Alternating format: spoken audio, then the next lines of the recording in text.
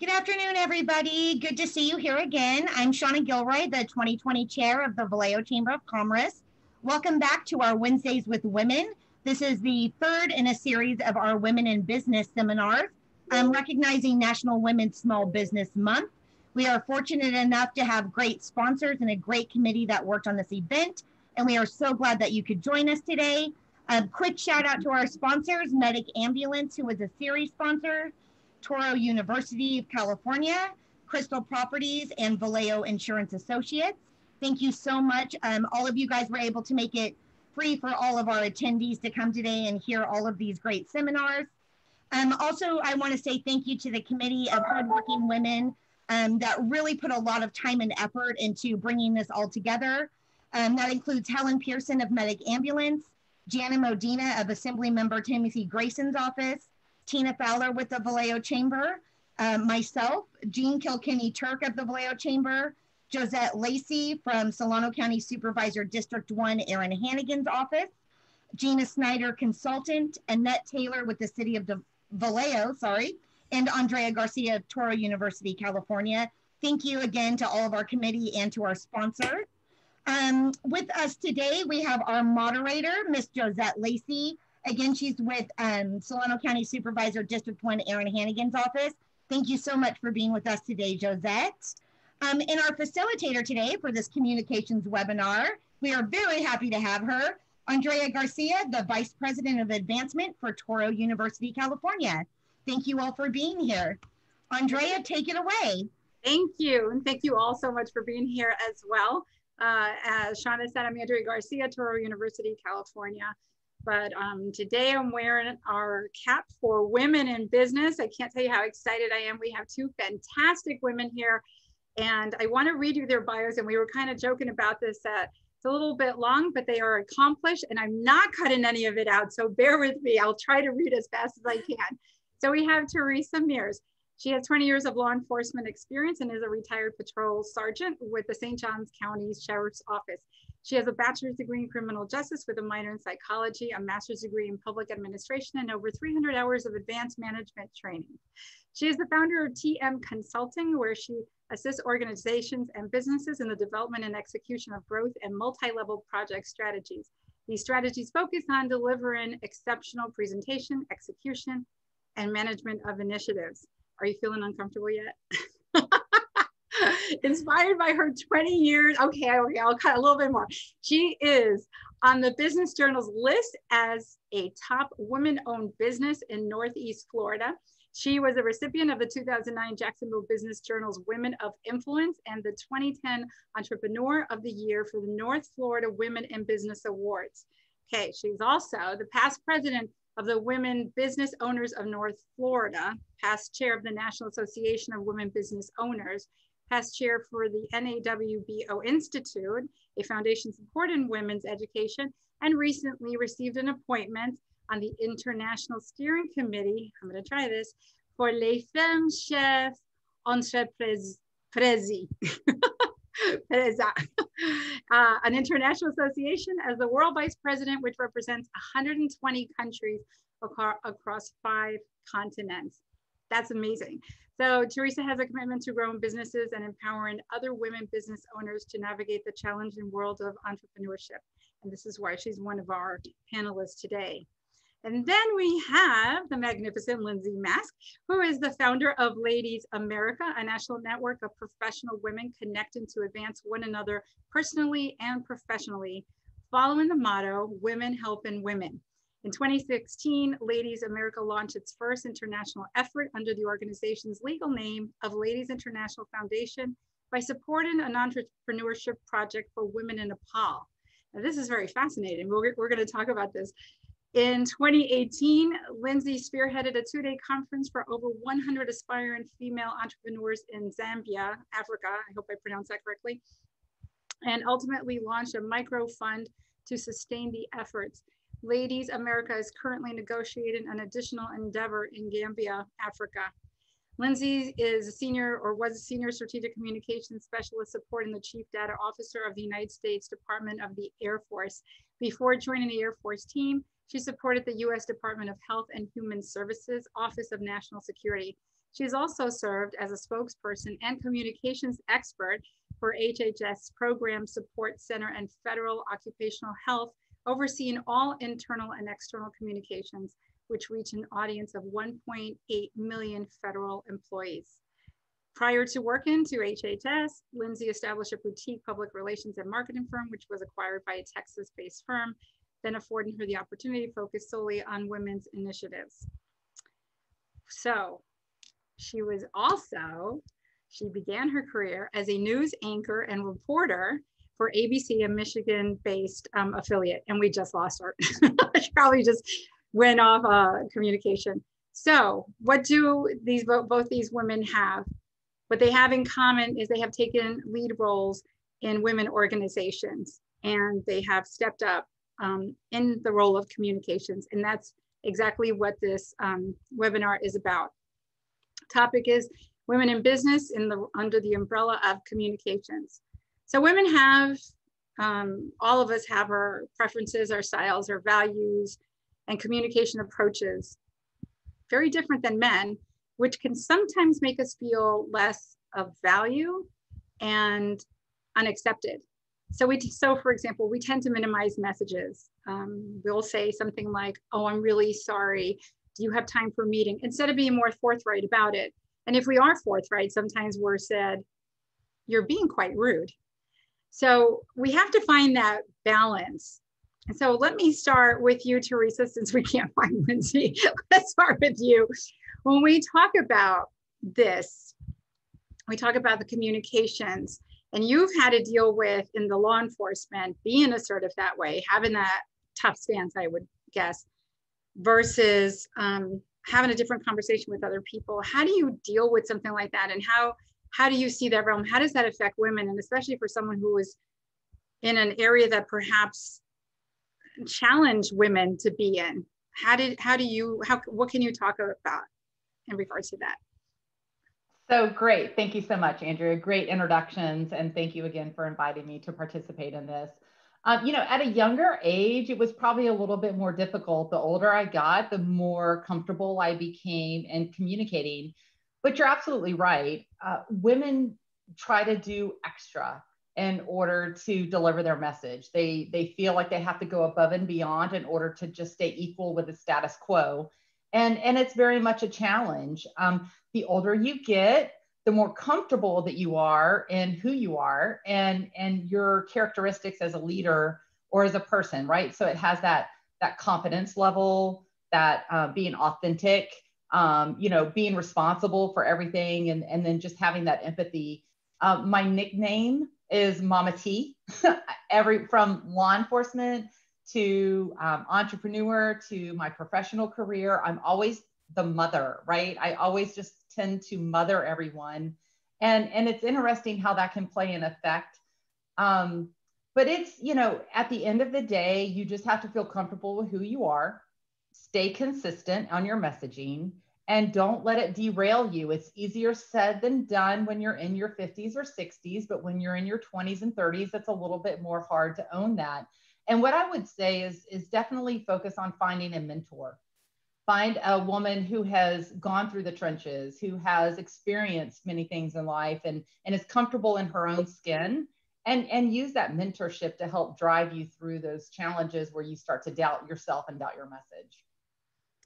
There's, um, I was looking at your website and you have, this is what you write, leadership, no matter what your role or title or lack of thereof, is based on balance, the utilization of specific traits, and being aware of emotions that drive us all. Mm-hmm. That seems to be associated with women. And that's something I wanted to talk about the emotion side. And so we can, if we pull it apart, some people will say, or men might say, and I don't want to say that, but oh, women, you know, they're just emotional. So how do you relate that when you we talk about being aware of the emotions that drive us all? So the two emotions are the fear and greed. I really go into how fear and greed drives us all. Fear that I'm not good enough, fear that someone's going to judge me, and um, that's not what I mean. Um, and then greed of why is this person getting more recognition than me? Why is this person getting promoted? Yay, welcome back, Lindsey. um, you know, why is this person getting more than me? And sometimes we can let those thoughts and emotions drive our decision making, and that overrides our level of confidence and authenticity. And so, what I talk about in those two emotions is recognize them, own them, but don't let them drive you. Don't let you make decisions based off of the two emotions that drive us all, which is being the fear and greed. Um, at the end of the day, just know who you are, stay confident, stay authentic, and just keep moving forward with the message that you have. As long as you're consistent, you're good to go. There are going to be times that your message is not received well. There's going to be times that men are going to doubt you, degrade you, and there's going to be times that women are going to be, um, you know, intimidated by you. It's it's a it's an interesting minefield that we find ourselves in as women. I feel like we're having the right conversation these days. Um, I feel like we're being more upfront and honest about it. But at the end of the day, do not apologize for who you are. Do not apologize for what you want to accomplish because at the end of the day, that can be the difference between success and failure. Lindsey, um, welcome back. Thank you. Um, you when when I when we departed for a moment, um, we were talking about you were anchor woman. You started with that. I let me ask you something about that.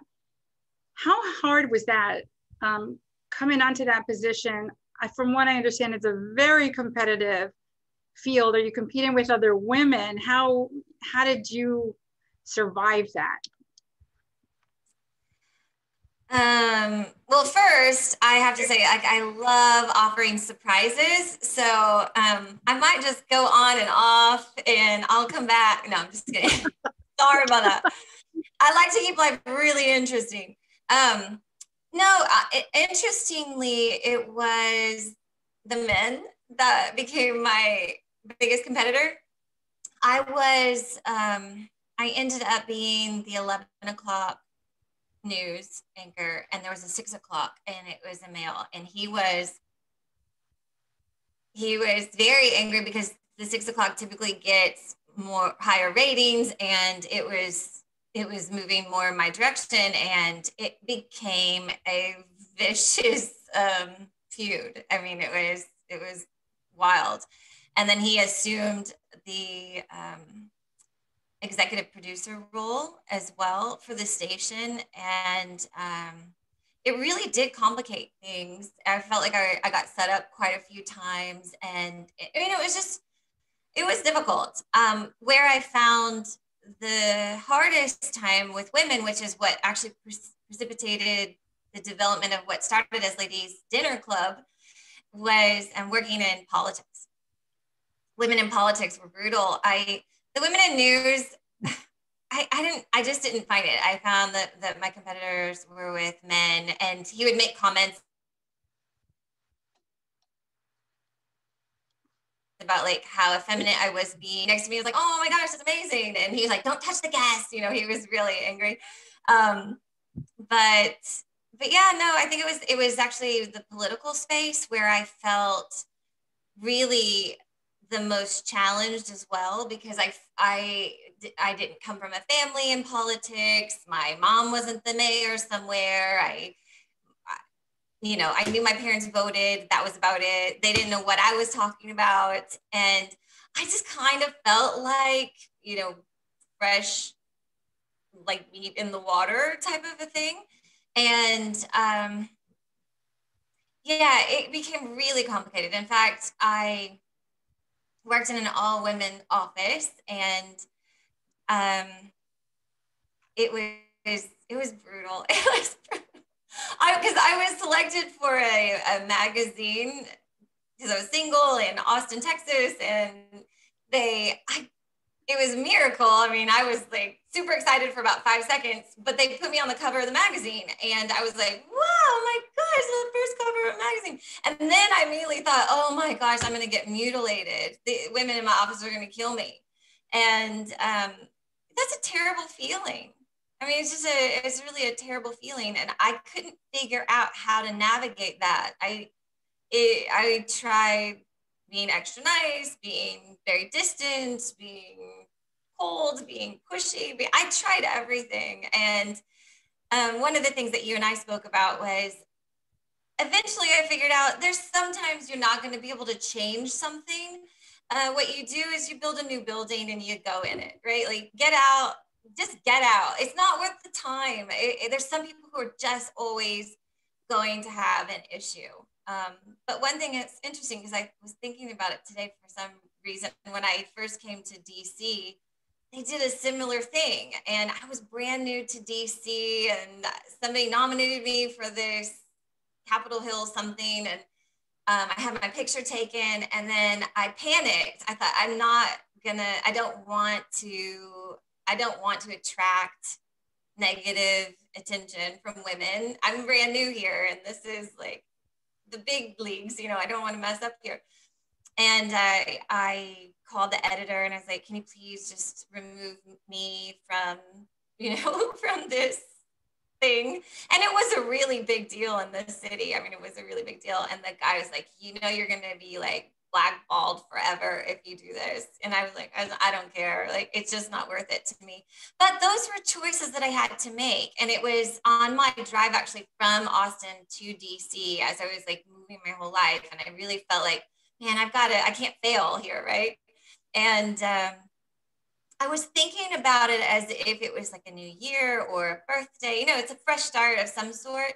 And I, I was trying to process like, what do you, I, do I want to eat healthier? Do I want to exercise more? I drink more water, sleep more, you know, study more, read more books.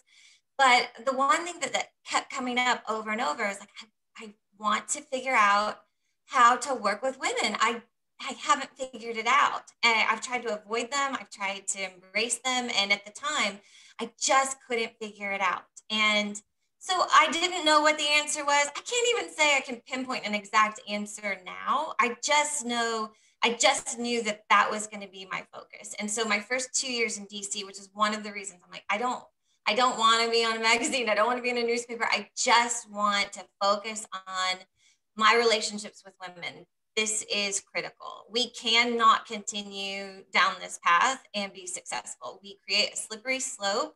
And I have come to believe that a lot of it is built off of fear. You, you know, it's a mama bear protective thing, right? Of your own space or your own work or your own progress. But the reality is rising tides do rise, raise all boats. And and there is room enough for all of us, right? And and so you know like i said i i eventually did build the new building and i was surrounded completely by women with that same mindset and um, motivation and desire for life and for our country and for women. And it was extraordinary. And it wasn't until years later that i was working back in like a presidential political campaign and i witnessed it again and I hadn't seen it. I was like, oh, I thought we were, I thought women were all done with this. Like, I didn't know we were still doing this because I just hadn't been around it for so many years. I didn't even realize it was still happening. But it is, and it very much still is. Um, it is a it is a reality. Yes, there's better conversations. Yes, I do believe that women are supporting each other in a really unique way of um, shared experiences and things along those lines, which is extraordinary. And um, very meaningful, very powerful, and surprising to me, honestly. Like at first with the Me Too movement, I was like, I don't want to do this. This is so. I, this seems like a waste of time. Like I want to talk about progress. I don't want to. I want to talk about all my bad memories of things that have happened. Right? I didn't want to go there, but then as I did, I, just like I was flooded, and I realized the that there really, truly, obviously, huge value in that as well. But um, you know, I don't know. I, I, I don't like, again, I don't really have the answer. I just think that you have to um, pick the right people, believe that the right people are going to come around you and, um, and just trudge forward, you know, what, uh, what Teresa was saying is just being yourself in every way. I, I often quote, I haven't quoted it in so long, I'm probably going to do it wrong, but E.E. E. Cummings, to be yourself in a world that is try, tries to change you like i don't know i can't remember. It's the hardest battle you'll ever fight for the rest of your life. And it's the battle for a world that's constantly trying to morph you and change you into what it expects of you um, but for you to continue to be yourself is the battle, right? Like, is the challenge, and it's a beautiful challenge. It's not, it doesn't have to be a bad, like, nightmarish one. It's a wonderful one for you to explore. Um, and it reminds me too of like a, it was like an Instagram post or something that I saw, and it was like, we accept you exactly how you are. And then the next thing was like, but not like that. right. And that is that, right? It's like, oh, come be who you are. Frozen. But then, but, but no, no, don't. Do, yeah, it's, it's, um, I don't think it ever really ends. I think that, you know, this, this does continue.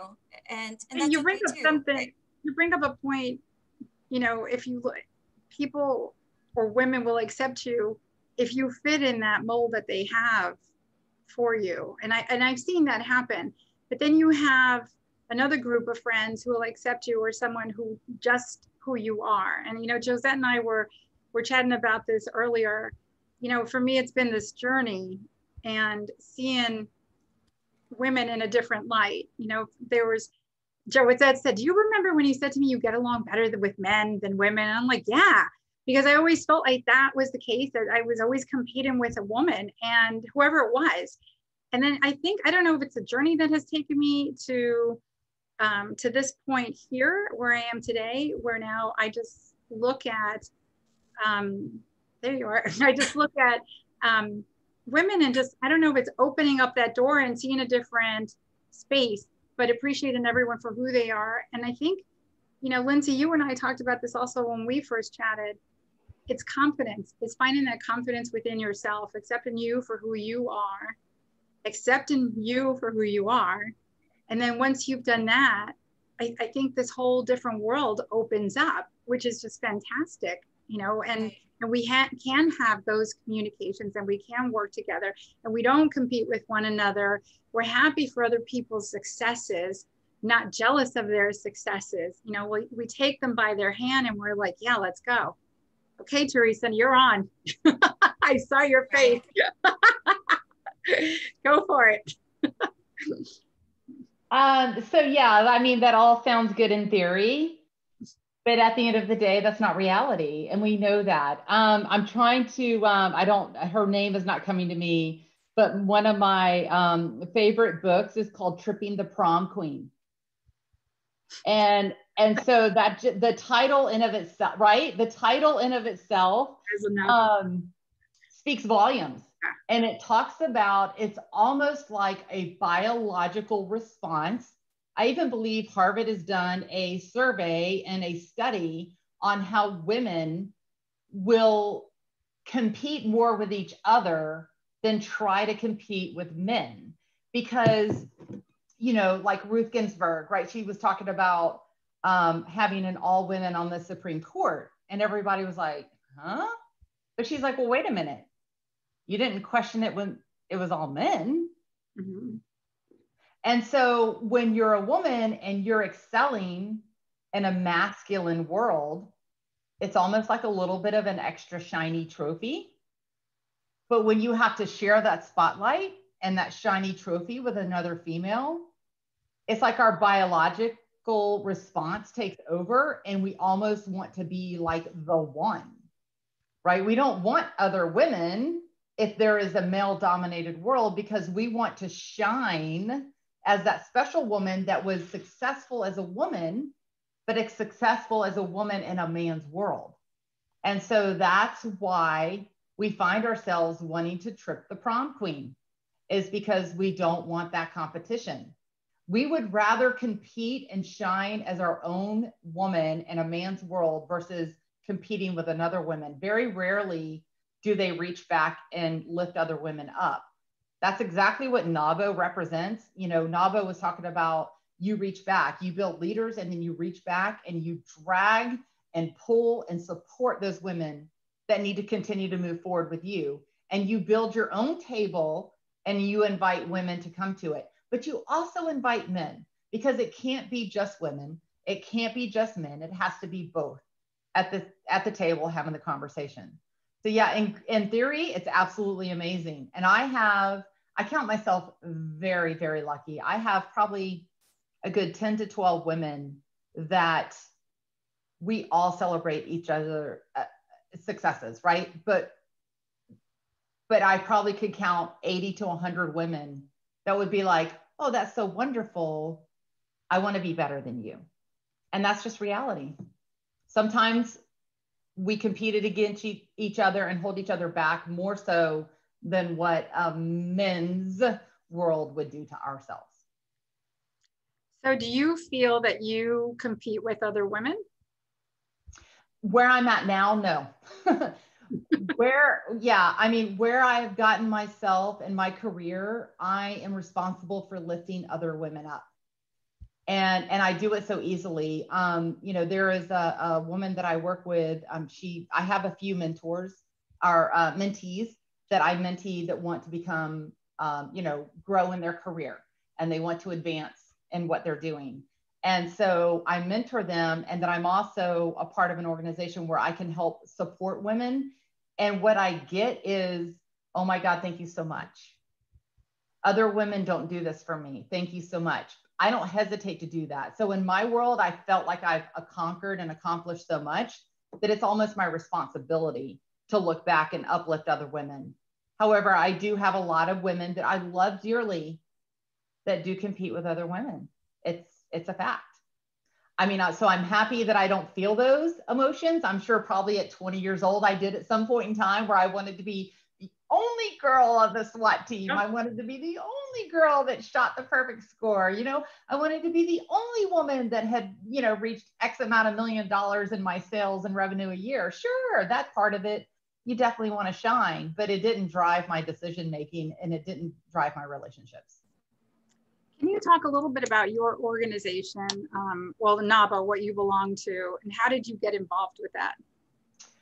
Uh, you know, so when I I did come from law enforcement and I went into um, you know women business organization here locally. My business was more national, so I had a little bit you know more of a national reach than a local. So I was looking for something that could support me nationally, and that's when I came across the National Association of Women Business Owners.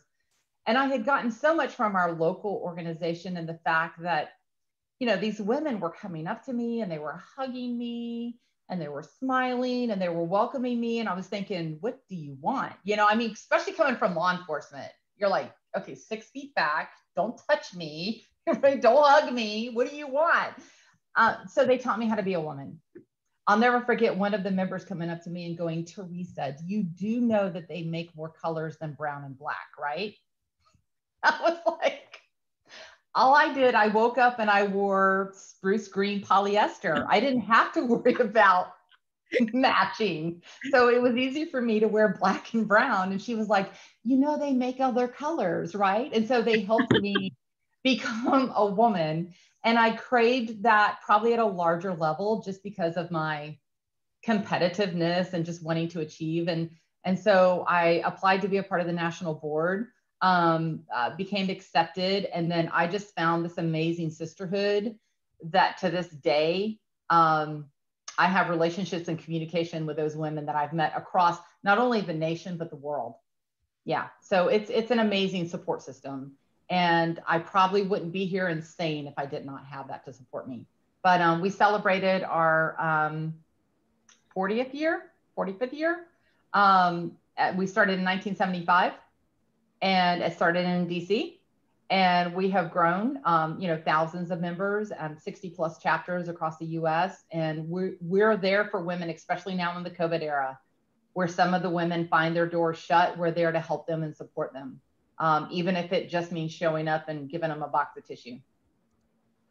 Thank you, Teresa. So I'm gonna, um, we have a question in the chat and I want all of our attendees to know that it's a good time to send questions through your Q&A and I will read those um, so that the panelists can give an answer. So we have a question from Susan. New leadership concepts are encouraging leaders to be vulnerable, to have the courage to be vulnerable. Well, heck, women have always been vulnerable, so not so new to us. However, we have been called weak for being vulnerable.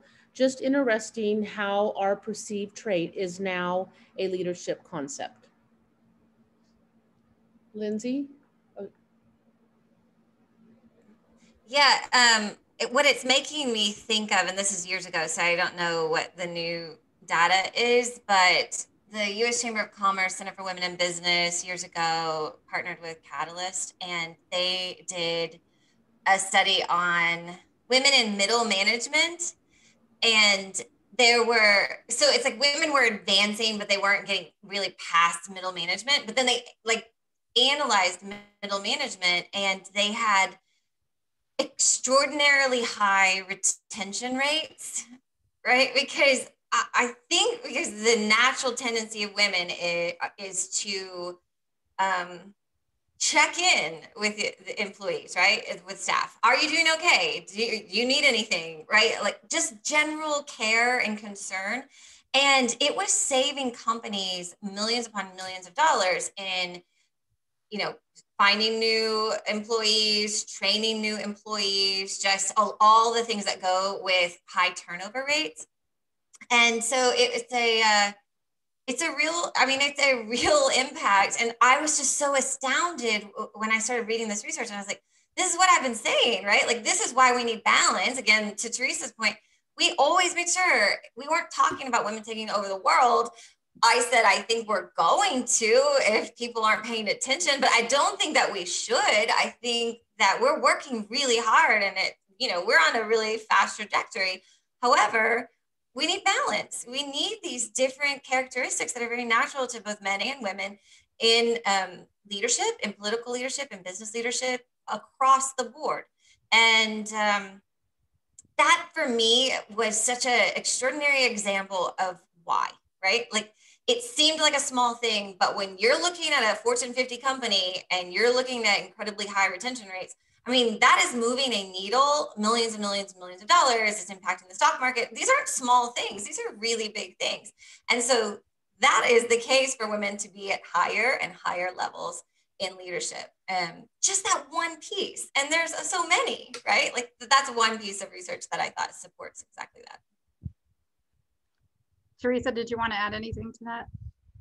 No, I think she said it well. I think the only thing I would add is um, I, I like to celebrate women, but we need to stop celebrating it as, oh my God, the woman that did this, right? We need to just go no more, you know, um, because we're making it unique in it of itself and it shouldn't be unique.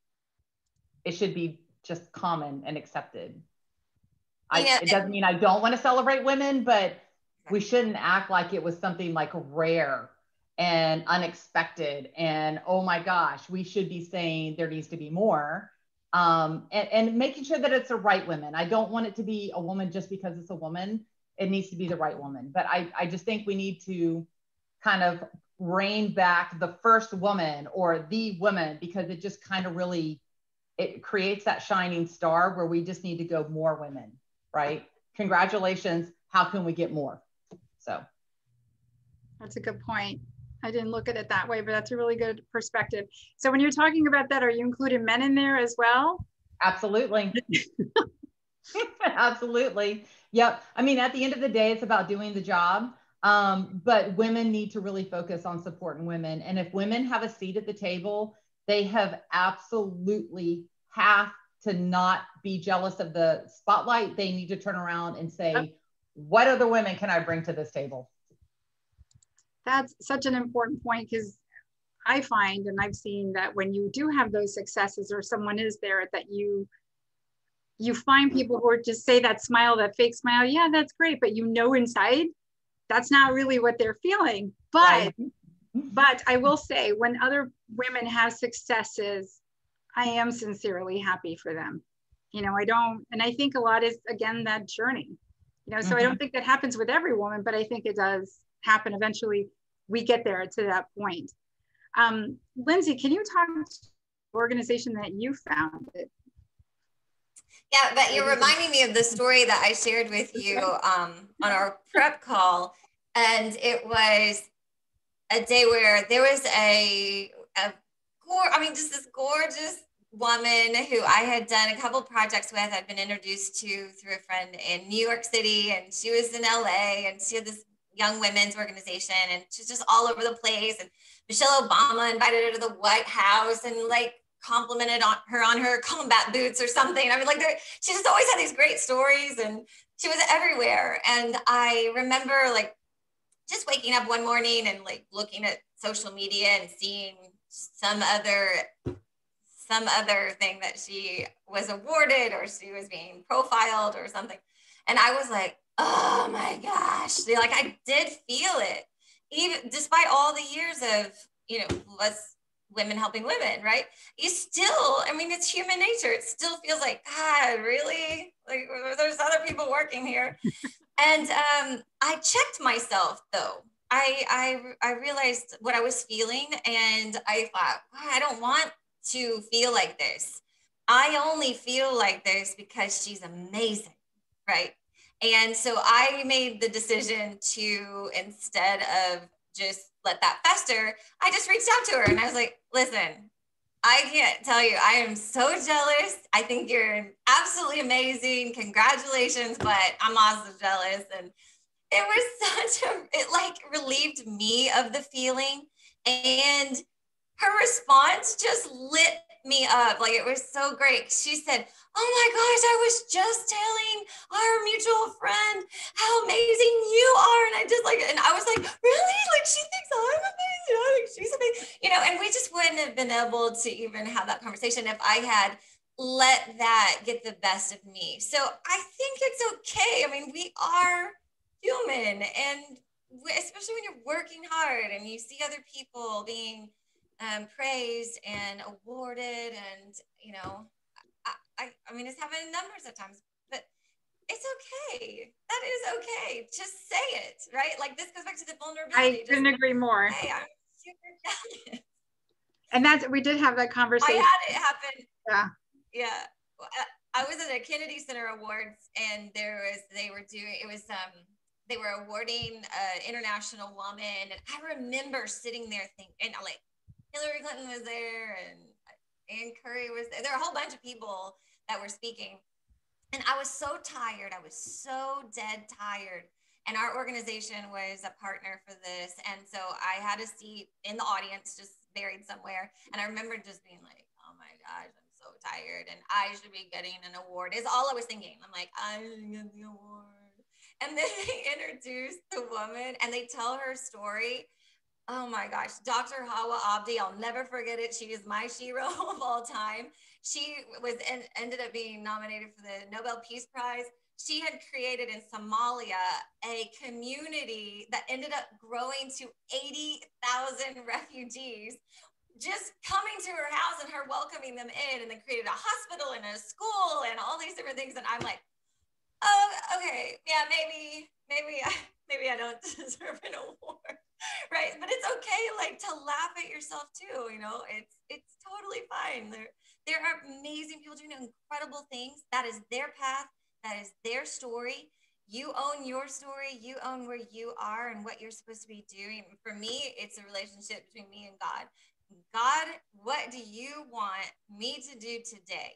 Who do you want me to talk to? Where do you want me to put my feet? And and let's go right? So like I go in partnership with the Lord, and um, that is there's nothing better. There's no greater joy in the world than to like fulfill your life purpose. I have a question that was sent to me on the phone. Why do we feel, or why, yeah, why do we feel, what do you feel causes the jealousy within women? Why do we find it necessary to measure up to other women and essentially compete?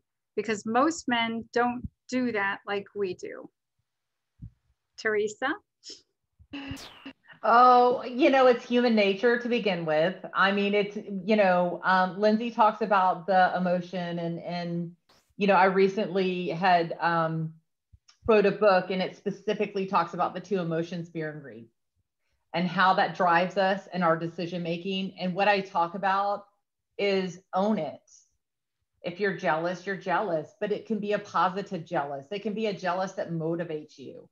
But it kind of goes back to what I just said. If if we independently celebrate women for accomplishing things that so many other women are accomplishing as if it's this magical moment, right? Like this is the first and only woman that's accomplished this when we know there's probably a thousand other stories of women that are equal just as good or on their way in the same path. but we all crave that spotlight. And so we all want to crave to be that one instead of just being collective. And so I think society puts that on us.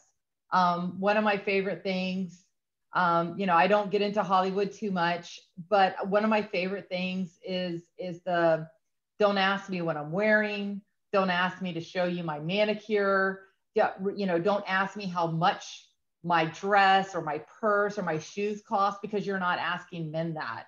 And and so at the end of the day, we don't want to they, you know the social media and the media makes us compete against each other. Are you sexy enough? Are you beautiful enough? Are you successful enough? And we we celebrate it individually and celebrating it collectively. And I think sometimes that that gets to us mentally, but that's where you have to read um, you have to network you have to connect and you have to you have to know who you are and be comfortable in your skin. And then once you do that you'll feel a little bit more comfortable with not competing. It doesn't mean those emotions are going to go away. Emotions are emotions. There are times that i'm walking i'm like god i wish i could be that woman you know? But then i hear other people talk about me and i'm like i'm not worthy you know? So you know it's it's a constant it's an evolution but it's just recognizing it identifying it calling it out and owning it is where we're going to start. It will not go away. Women will always compete with women, and women will always compete with men. We're competitive at the end of the day, and that's what drives us, and that's what will make our story special. What the world needs now is Teresa, you know this. um, I don't know. what does the world need now? Leadership. So it's part of. Oh, yeah. oh my God, it's so bad. You're right. It's late. It's like 7:30 where I'm at. So no, the, what the world needs now is leadership. Absolutely. Yeah. It needs um, somebody that's showing the way, laying the path down, and and having the right conversation. So, thank you, Andrea, for reminding me who I am. wrote a book care. I know, I read a book about it. So. Let's talk yeah. about that. What can you tell me about that book for people who don't know what that is? And it's an acronym. Uh, yeah, so the um the the title of the book is um CARE, C A R E, um, the effective um, control of emotions. Um, you know, leadership through the effective control of emotions. And I talk about the two emotions, fear and greed. Um, and then I talk about the four characteristics of a leader, which is um, confidence, authenticity, responsibility, and empathy. And that spells, spells out the word, uh, word care. So at the end of the day, if we just care about other people, it's very simple to remember that we all need to be human. Um, but I tell four very specific stories um, that are personal, and then a couple of them that are law enforcement related that people would normally not hear the details of, and and how that shaped me to become a better person and a better leader to where um, when I meet other people, I walk away from that conversation and relationship feeling like I left them inspired and, and left with a spark. So um, it's a passion project, but it came from NAWBO. Uh, we talked about being a part of volunteer boards, how so hard it is to be a part of volunteer boards because you have so many different opinions. And if you're an entrepreneur and you're on a board, you have a bunch of alphas. You have a bunch of alpha women, right? I mean, Yep. Communication is not always the best. and and we all are competing against each other. And so um, during my time as chair, we would go to chapter and chapter that were having challenges, and it was all about leadership and communication. And at the end of the day, the women just wanted to be heard. And so the more that we listened to them, the better the chapters responded. And um, and I developed a talk on leadership and care. And then for three years, everybody kept saying, "You got to write a book you got to write a book. And so one of my passion projects when I sold my company was um, to finish that book. And so I did that this year. I'm very happy to do that. Uh, we have someone, Tina Fowler, she's in the audience and she's, um, when I introduced her to you and to the book, she's like, I'm getting that book. So I don't know if she did or not. so she was just like all gung ho for it. And she's from the Vallejo Chamber. So, Lindsey, I want to go back to you and Ladies America. How tell me how that journey started and where you're at with that, and what is it, and how does it help women? Right. So, um, as I mentioned, I was working in politics. It was new to me, and I just, I, I truly felt like the only place where I, I just wasn't succeeding was in the relationships with